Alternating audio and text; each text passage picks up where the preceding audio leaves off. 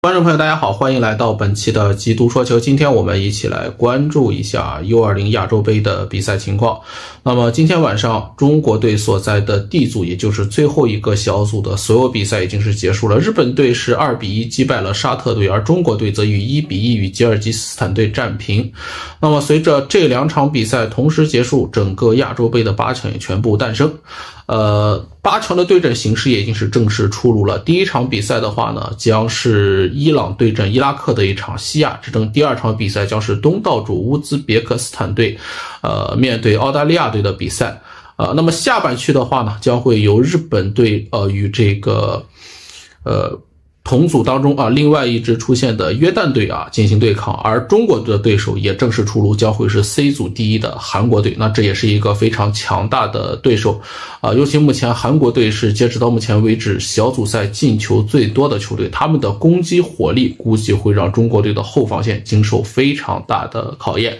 那我相信啊，中国队能够进入到此次亚洲杯的八强，的确是赛前很多球迷没有能够想到的。因为在这项比赛的赛场之上，我们已经连续此前连续五届比赛没有能够杀到过淘汰赛了。尽管说我们在一九八四年的时候曾经，呃拿到过亚青赛的冠军，但是时至今日，中国青年队的建设水平可以说是与日俱下，导致我们的青年队成绩是比较差的。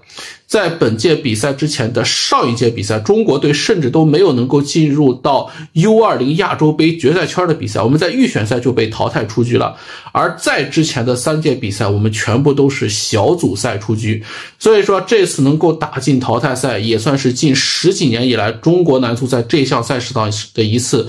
重大的突破，而且这次的晋级绝对是含金量十足啊！因为在我们这个小组当中，拥有两支冠军的热门球队啊，分别是小组第一出现的日本队，以及被我们挤掉的沙特队啊。沙特队是本次比赛的卫冕冠军，上一届亚青赛的冠军啊。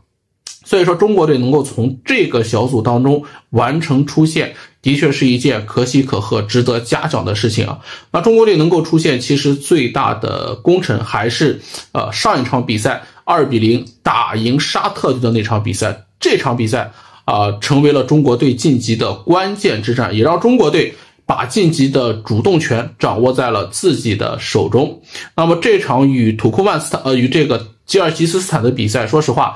比赛的过程可能比大家预想的要更加的艰难，中国队多多少少还是背上了一些想赢怕输的包袱，所以说中国队整体的发挥、反击的效率并不像上一场打沙特队那样那么的呃有成果啊。不过好在最终的一个平局，也是让中国队能够去呃拿到此次。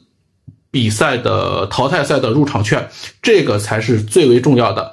那接下来的我们的对手将会是韩国队，这是一个非常难以逾越的对手啊！但是我觉得，连卫冕冠军我们都可以战胜，那么打赢韩国队也并非不可能的事情。而中韩两队在历史上也是一对冤家，中国打韩国每次都能够吊起球迷的。足够的胃口啊！希望中国的小伙子们能够在淘汰赛里边继续加油吧。如果真的能够战胜韩国队，那中国队将会获得今年七月份参加印尼 U20 世界杯的比赛资格。那这个比赛我们已经二十多年没有去过了，所以说啊，这个对于中国队的小伙子们来说将会是一次极大的鼓舞。希望中国队啊这批年轻的队员能够再接再厉，争取在面对韩国队的比赛当中再次展现出。